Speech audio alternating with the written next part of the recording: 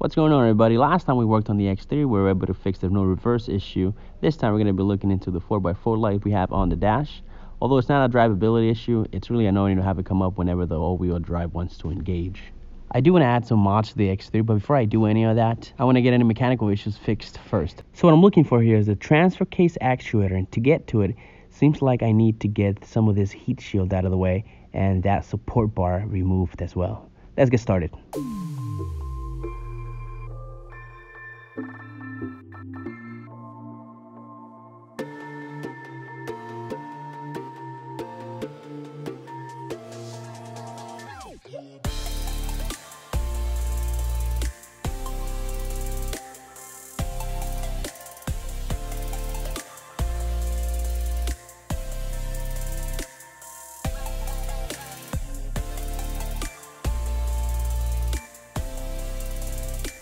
With the actuator out of the car now, I'm going to be taking this unit apart to replace a worn out plastic gear that's causing the 4x4 light to go off on the dash.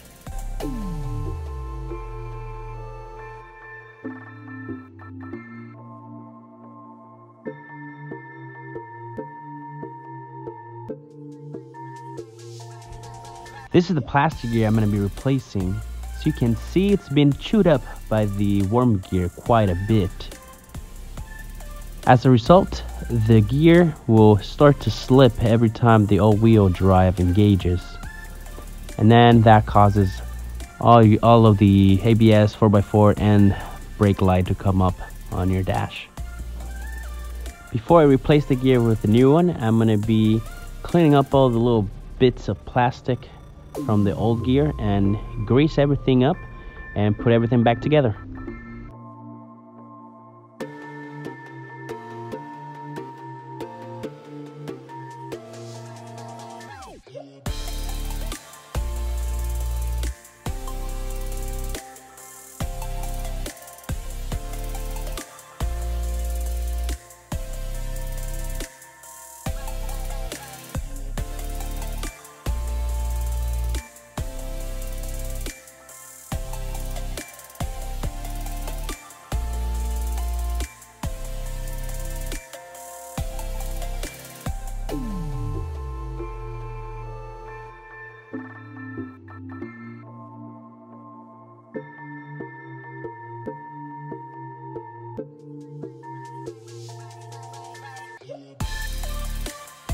At this point, I already put everything back, the actuator itself and the two electrical plugs that hook up right to it, the heat shield and support bar as well. Let's get the X3 started right up.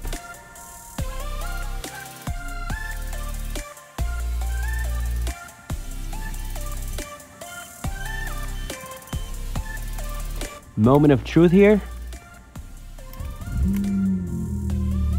4x4 light is gone no other issues with the X3 for now. So I'm looking forward to next video because I want to do a few mods on it. So stay tuned for that. I'll catch you guys later.